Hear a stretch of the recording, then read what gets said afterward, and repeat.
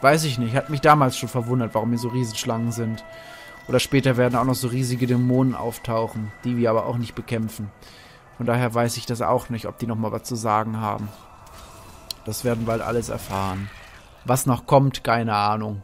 Ich habe ja die Diablo 3 Info-Ecke. Die ist jetzt auch nicht äh, voll mit Neuigkeiten, aber das sind immerhin elf Folgen, auch mit eventuell, was in der Zukunft noch so passieren mag. Aber im Grunde genommen nichts großartig Neues außerhalb dessen, was ich euch hier im LP schon erzählt habe. Das ist, müsst ihr euch nur angucken, wenn ihr Langeweile habt. Also müsst ihr nicht, könnt ihr halt, ne? Ja. Wie gesagt, die Geschichte die Kalan aufgeschrieben hat über die Begebenheiten um den Toten, beziehungsweise der, der getötet wurde, von Lucio Achillios, der sie begleitet hatte und als Toter wieder auferstanden wurde und nie Ruhe fand. Aber später halt wiederbelebt wurde, tatsächlich.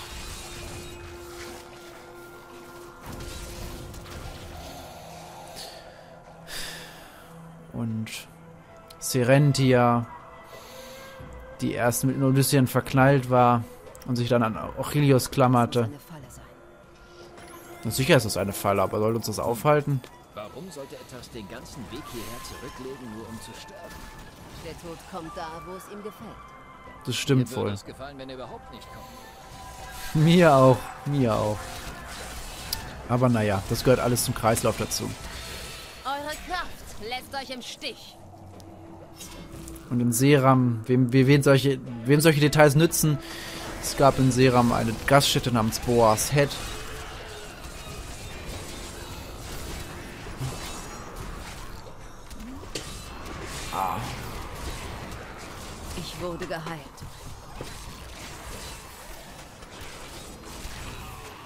Hier gerade Nerven.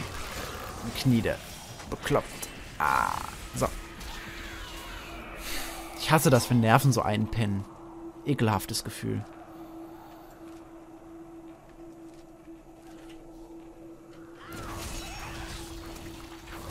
Die lassen aber auch nicht zwei Sekunden mal in Ruhe hier, ne? Unglaublich. Naja, auf jeden Fall. Es gab ganz viele Geschichten. Die Geschichte um Uldyssian ist auf tausend Seiten ohne Scherz nicht niederzuschreiben. Sind mehr. Aber es ist ja auch nicht so von Bedeutung, durch welche Ortschaft die zogen und welche Intrigen die hatten. Also, sie haben Lucion jedenfalls vernichtet. Inarius wurde an die Höllen übergeben. Wer weiß, was aus dem heute geworden ist. Lilith wurde in das ewige Nichts verbannt. Uldyssian hat sich geopfert. Kalan bestand weiter, wo auch immer sein Weg hinführte. Und ob er noch lebt, wer weiß. Die Mächte sind da schwer einzuschätzen. Und alle anderen verloren ihr Gedächtnis. Viele weitere sind im Kampf gestorben.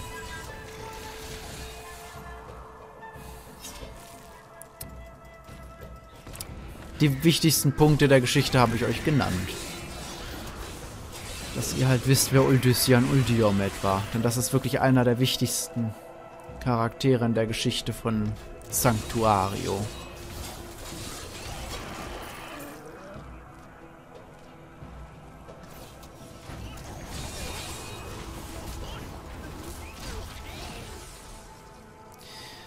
Jetzt habe ich euch die auch mal erzählt, die Geschichte. Na also. Mittlerweile habe ich meinen Hunger sogar schon wieder ein bisschen vergessen. Es liegt aber auch an dem Koffein, das ich zu mir genommen habe, Schrägstrich teilweise noch einen Schluck trinke, immer wieder. Durchmachen werde ich nicht. Ich kann ja nach sowas auch super pennen, ne? Und das sehe ich auch gar nicht ein. Jetzt noch großartig durchzumachen. Ich gehe jetzt auch noch zu Meckes und habe das sogar noch ein bisschen Bock zu lesen. Um, aber Meckes ist halt um die Ecke, ne? Wenn ich nach Hause komme, gehe ich gleich nach Zähneputzen ab ins Bett und so.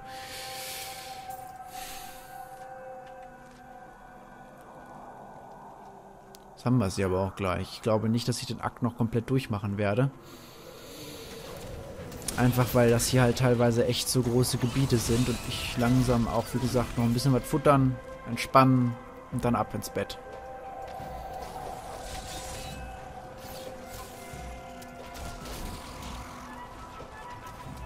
Mal gucken, wie lange die aufhaben. Ob die bis, ah, wenn die bis 1 aufhaben, muss ich mich ja sogar ranhalten. Bis 3 aufhaben, dann nicht. Aber immerhin weiß ich, dass zu größten Not äh, hat hier Dings hat offen. Wie heißt der Laden noch? Mr. Chicken, genau. Der schmeckt zwar nicht ganz so lecker. aber ist durchaus in Ordnung.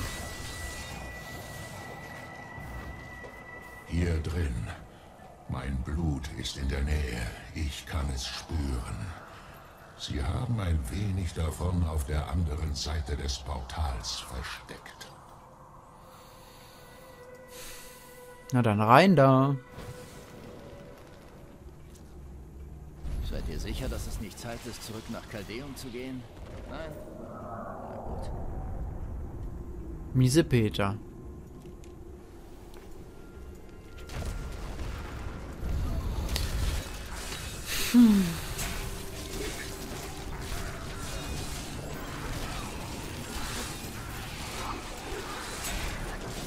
Hier sind aber auch viele, ne? Da bist du aber ein bisschen blind. Hier sind noch genug Viecher.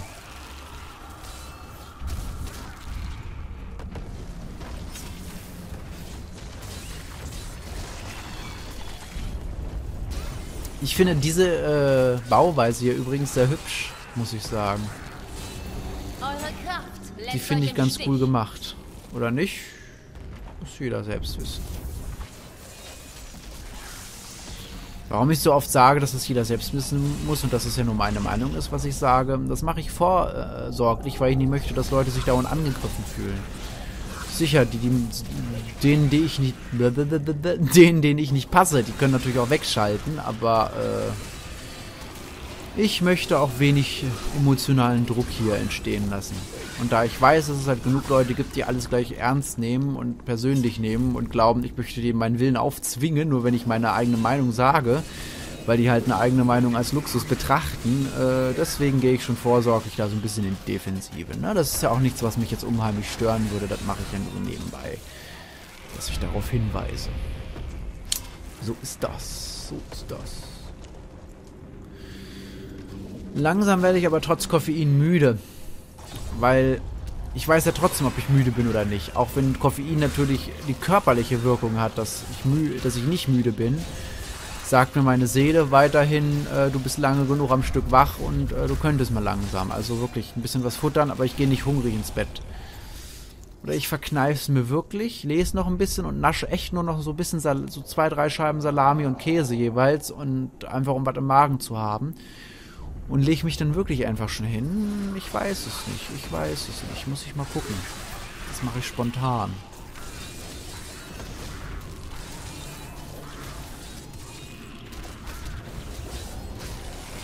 Eines Tages werdet ihr noch so gut wie ich.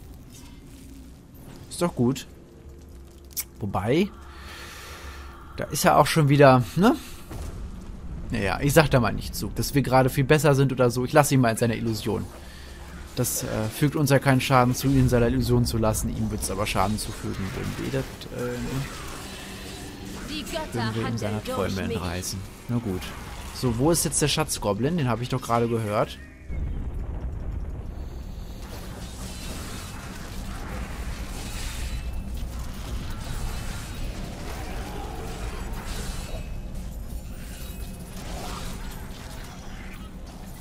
Dass sie immer so wegrennen und dass sie dann über einen halben Bildschirm verschwinden.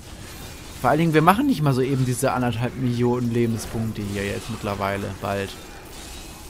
Das mal an, wo er lang rennt. Das dürfen wir gleich alles zurückrennen, weil er hier den Scheiß verliert.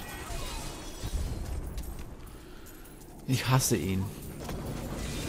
Das ist, auch, das ist ja die Schwierigkeit halt an Schatzgoblins. Aber das ist auch das Nervige. Jetzt dürfen wir hier alle nochmal zurückrennen.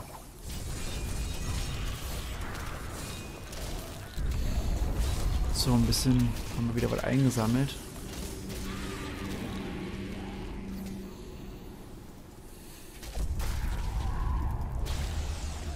Cool, was ist mit dir los? Du bist so still geworden. Er hat doch manchmal seine Allüren, dass er uns da alles Mögliche erzählen muss.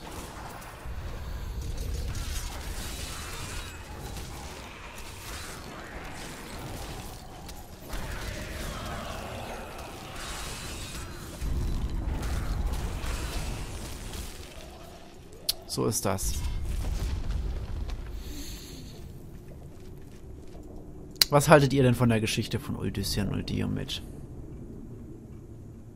Und ich bin mal sehr gespannt, was überhaupt Tragul ist, wenn man ihn fragt. Wie gesagt, seine Antwort ist, ich weiß selbst nicht, was ich bin. Und das gibt wohl auch nur mich. Aber er weiß, dass er, sage ich mal, das Gleichgewicht ist und dass das Gleichgewicht sein Ziel ist und dass er das wahren möchte. Darum hat er Odysseon und Kalan damals ja auch unterstützt. Weil er wusste, dass nur sie in der Lage waren, die Übernahme durch Dämonen oder Engel abzuwenden. Und dass die beiden halt äh, das Gleichgewicht so stören. Ich bin noch nicht wieder bereit.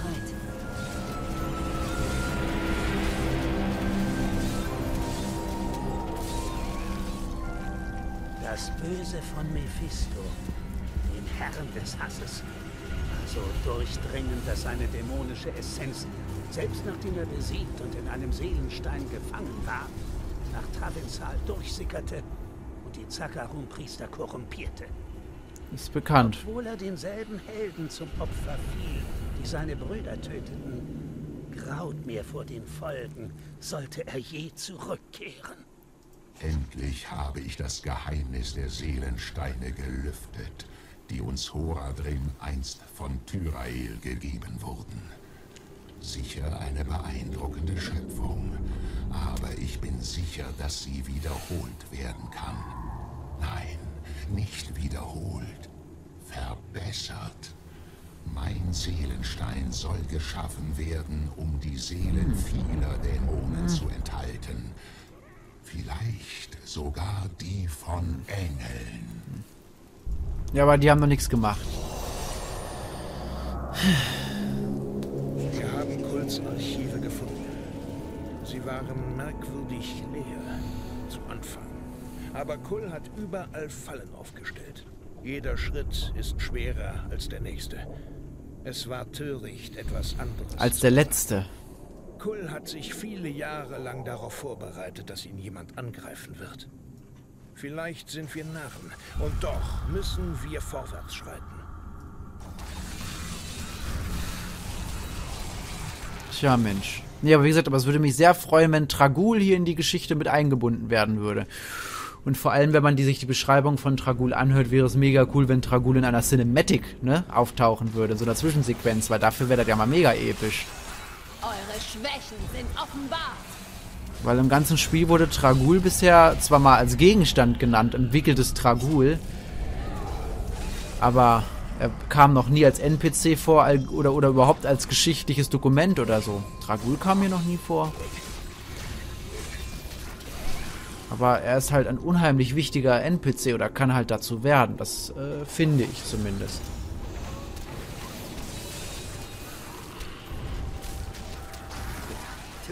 Dinger, bevor sie mir, äh, äh, uns zu Leibe. Welche Dinger? Ich hab sie doch schon, äh, sind schon lange weg. Daibo.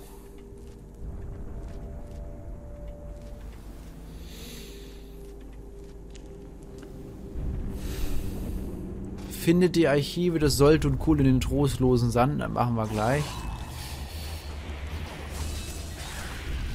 Ich sage wir werden mit dem Kerl noch viel Spaß haben. Quests dauern mit ihm echt sehr lange, weil das sind immer so große, verwinkelte Gebiete. Und als jemand, der dann alles mitnimmt und nicht einfach so, so lange so ein bisschen rumrennen, bis er halt alles hat, was er braucht, ne? Für so jemanden ist das natürlich eine sehr lange Quest tatsächlich.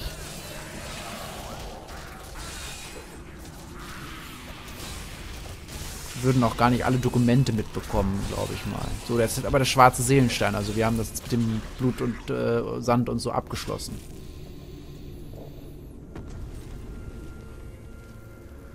Der schwarze Seelenstein beginnt jetzt, den müssen wir finden. Mhm.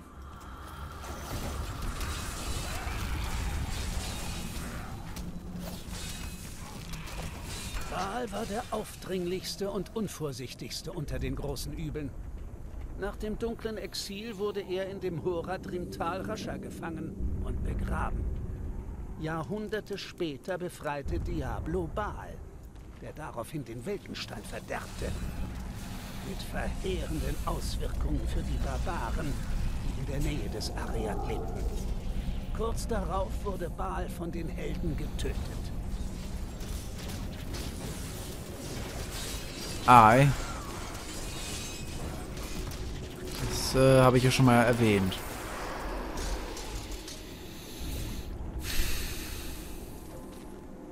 Mittlerweile gibt es gar nicht mehr so viel Geschichte, die ihr noch nicht kennt.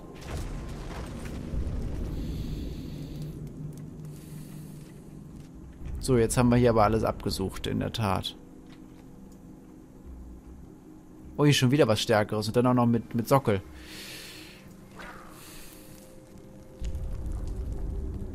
Geil. Dann gucke ich gleich nochmal nach. Wenn ich den Edelstein einsetze, werde ich gucken, wie, wie liegt denn so unsere kritische Trefferchance bei 10%. Kritische Trefferschaden. Gut, langsam lohnt sich das tatsächlich. Langsam lohnt es sich.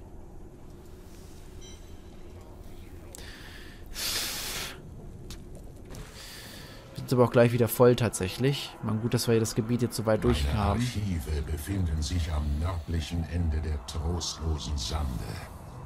Da, Ja, da können wir jetzt hin. meinen Körper und den schwarzen Seelenstein finden. Wie er sich immer freut, ne? Aber ist ja schön, dass er sich freut.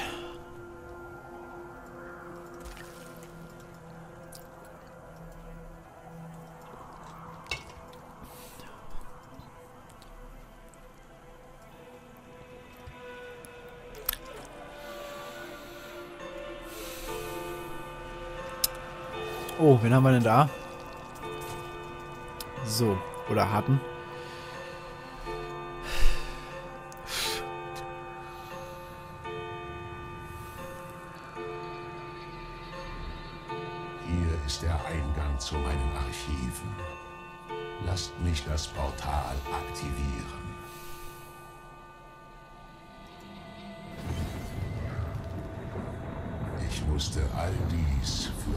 Forschung und meine Experimente erbauen.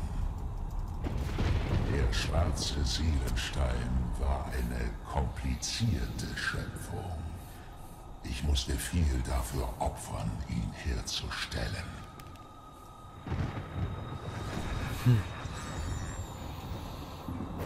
Sieht aus, als wäre ich gerade rechtzeitig gekommen. Kaiser Hakan, was macht ihr denn hier? Gut, alle sind hier. Ich komme, um euch mitzuteilen, dass ich Belial gefunden habe und bereit bin, euch zu ihm zu führen. Na dann ist doch gut. Dann wird der Herr der Lügen besiegt sein, sobald wir den schwarzen Seelenstein haben. Gut und schön. Aber zuerst muss ich wieder zusammengesetzt werden. Wir sind bereit, unseren Beitrag zu leisten. Vergesst nur nicht den euren. Habt ihr Belials Identität aufdecken können? Ja, doch wir müssen sehr vorsichtig sein. Er hat eure Taten beobachtet und wird langsam nervös. Ihr konzentriert euch auf den Seelenstein. Danach können wir uns um Belial kümmern.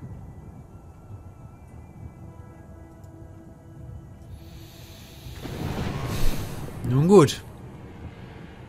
Hinter diesen Portalen befinden sich zwei Relikte, Menno, die einst von meinem Blut betrieben komme ich hier wurden. wieder gegen. Nehmt die Fiolen, die ihr gefunden habt, und aktiviert mit ihnen die Relikte.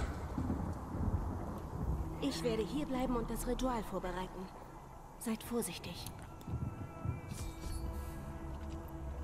Okay, dann bereite du das Ritual vor. Hui. Allem, was wir über Soltun Kul gehört haben, hätte ich mir so etwas nie träumen lassen. Vielleicht hatte Adria mit dem schwarzen Seelenstein recht. Ihr habt an mir gezweifelt. Wie enttäuschend. So, nun ist aber hier genug. Genug Koffein im Körper.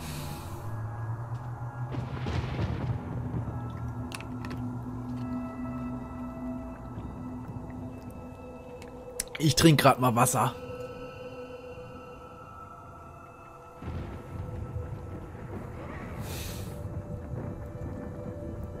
Weil ich merkte eben schon, dass das nicht unbedingt nur meine Nerven sind, die kribbeln, sondern eingeschlafene Gliedmaßen, because of Minderdurchblutung, because of leichte Dehydration, because of zu viel Koffein, zu wenig trinken.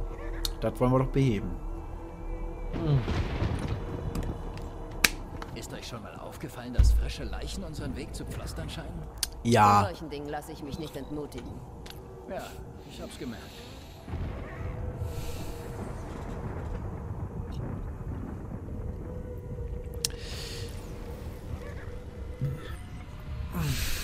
Wird mächtiger.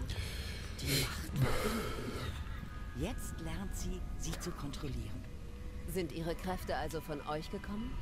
Ich weiß nicht, woher ihre Macht kommt. Ich habe mein Leben lang die Wege der Magie studiert, aber es ist mir nie so leicht gefallen. tja, Lea ist halt imbar, wa?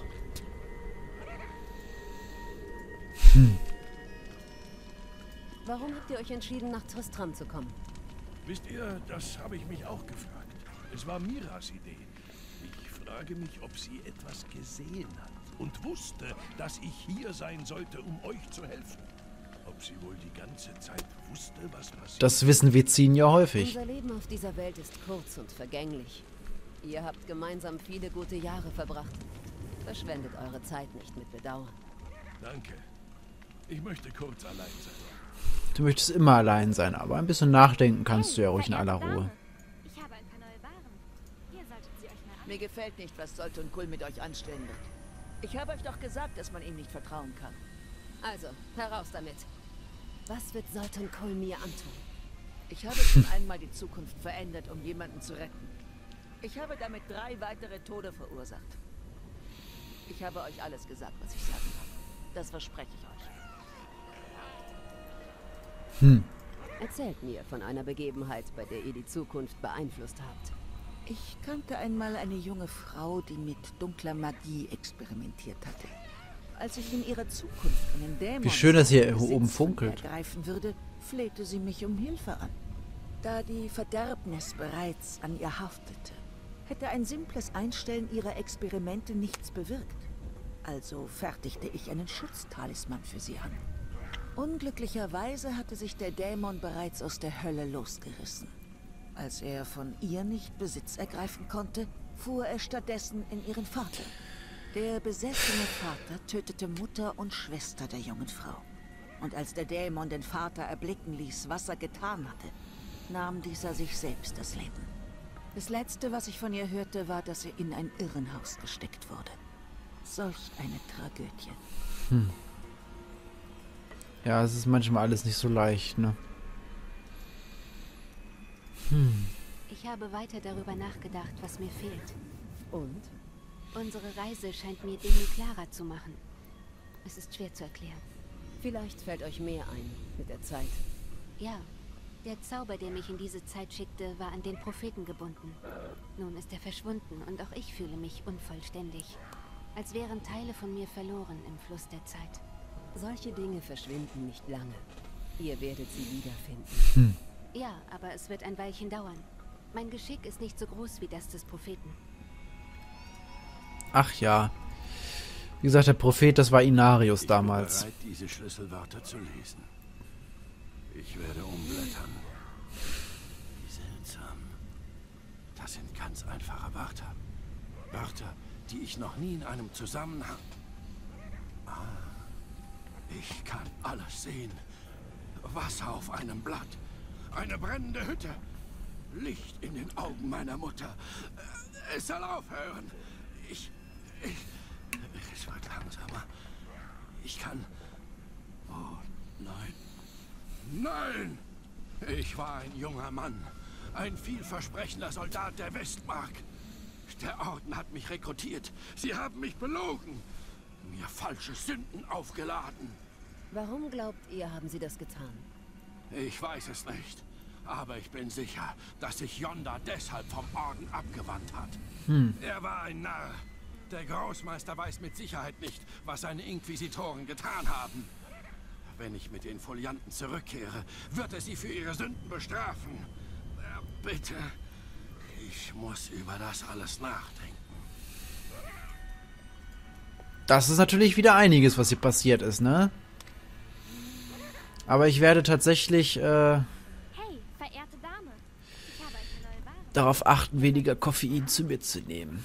Hab heute gemerkt, wie ich mittlerweile doch dafür sensibilisiert bin durch diese Zeit, in der ich das sehr viel genommen habe, dass ich davon nicht so viel vertrage, wie mir schmeckt. Aber naja, ich will auch nicht wehleidig sein. Ich weiß ja, was los ist und dass morgen wieder alles in Ordnung ist. So.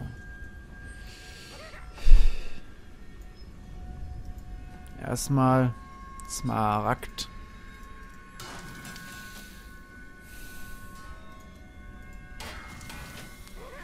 Hm.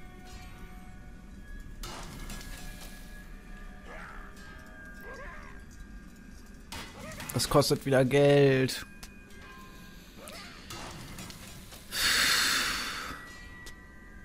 Aber naja, dadurch können wir jetzt von 9,4 auf 10,2. Das ist natürlich wieder ein ordentlicher Sprung.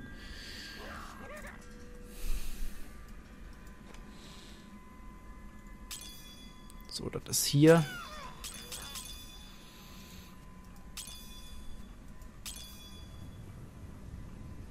Damit sind wir doch wieder ein Eck stärker.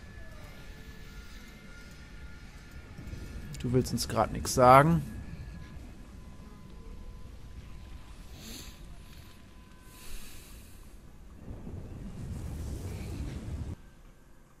Was ist denn hier unten los?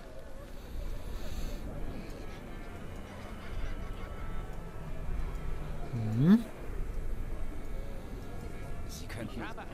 Ich hasse ihn. Was hat er denn jetzt gesagt? Ich habe zum zweiten Mal nicht mitgekriegt. Wenn es euch interessiert, könnt ihr ja kurz auf Pause machen. Wenn ihr schnell genug seid, seht ihr ja zumindest die Sprechblase. Das ist dämlich platziert. Lugo der Bergmann. Mir ist es wichtig, die Story mitzukriegen. Ich glaube, das sollte ich mal irgendwie am Blizzard melden, ob die das nicht ändern wollen können. Ich muss der Wahrheit ins Auge sehen. Der Kaiser wird die Tore nicht mehr öffnen lassen, nicht wahr? Der arme Junge ist wahnsinnig geworden. Das schmerzt mich sehr, meine Dame. Ich hatte große Hoffnungen für ihn. Was soll ich nur tun? Ich sitze hier fest. Ich auch, meine Dame. Ich auch. Ich höre, der Kaiser wird von seinen eigenen Wachen gefangen gehalten. Könnte das wahr sein?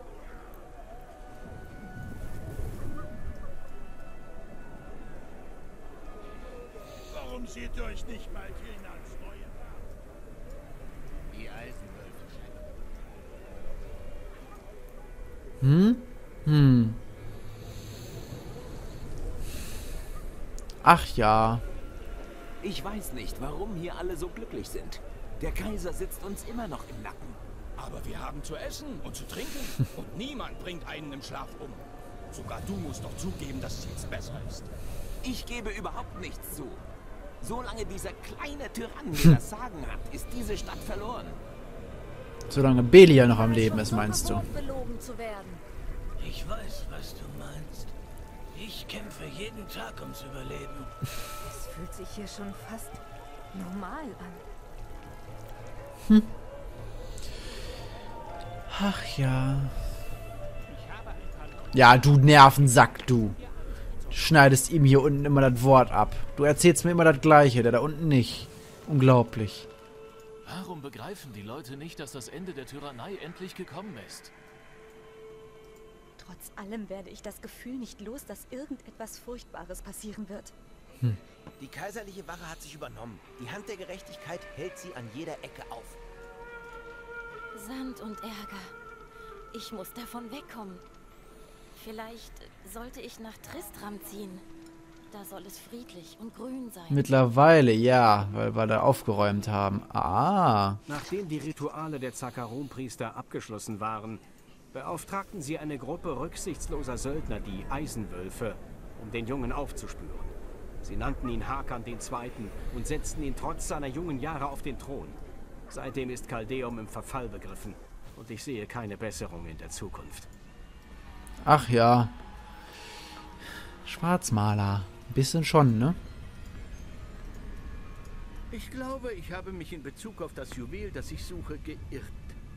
Es ist auch nicht in diesem Land. Was für eine Schande. Warum sucht ihr dieses verfluchte Juwel? Weil es Tausende getötet hat. Und weil ich der Einzige bin, der es besitzen kann, ohne Schaden zu nehmen. Das ist töricht von euch. Glaubt ihr, dass ihr es berühren könnt, weil ihr behauptet, ein Gott zu sein? Nein, weil es mir schon alles genommen hat, was von Bedeutung ist. Das könnte auch noch interessant werden.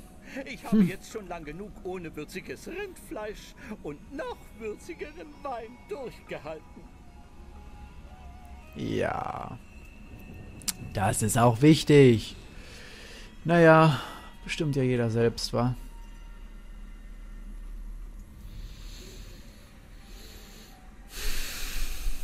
So, nun haben wir aber wirklich langsam genug von allen gehört, oder?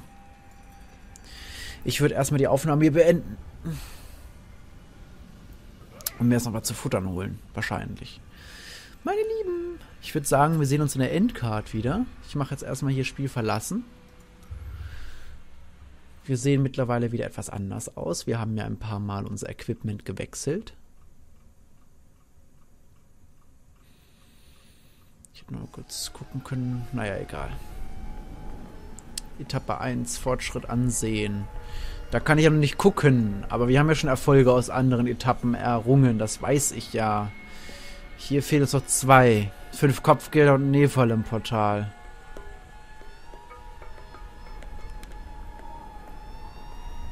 Tja. Mit anderen Worten, benutzt einmal den Abenteuermodus, wie es sich gehört, ne? Aber wie gesagt, wir haben aus anderen Etappen ja auch schon was geleistet, sonst wären da nicht so viele Erfolge aufgeploppt. Wir gehen einfach schneller voran, als es sich ver normal verhält. Ne? Ja, habe ich euch zu viel versprochen? Die Story ist doch gar nicht so kurz, wa? Naja, wie gesagt, bis zur Endcard.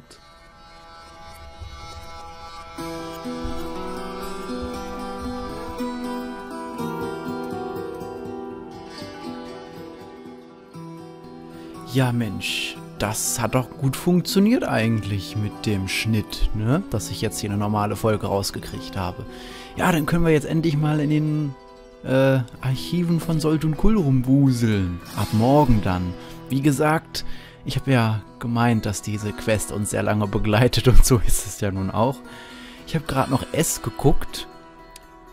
Ja, ist ganz cool ich bin halt irgendwie härteres gewohnt. Die aktuellen Filme, die aktuellen Horrorfilme, die sind ein bisschen.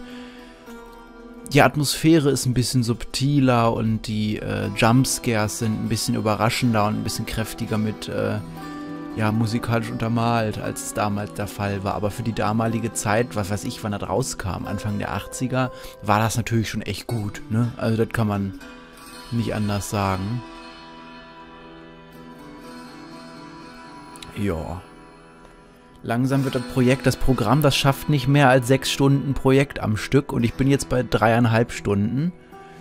Äh,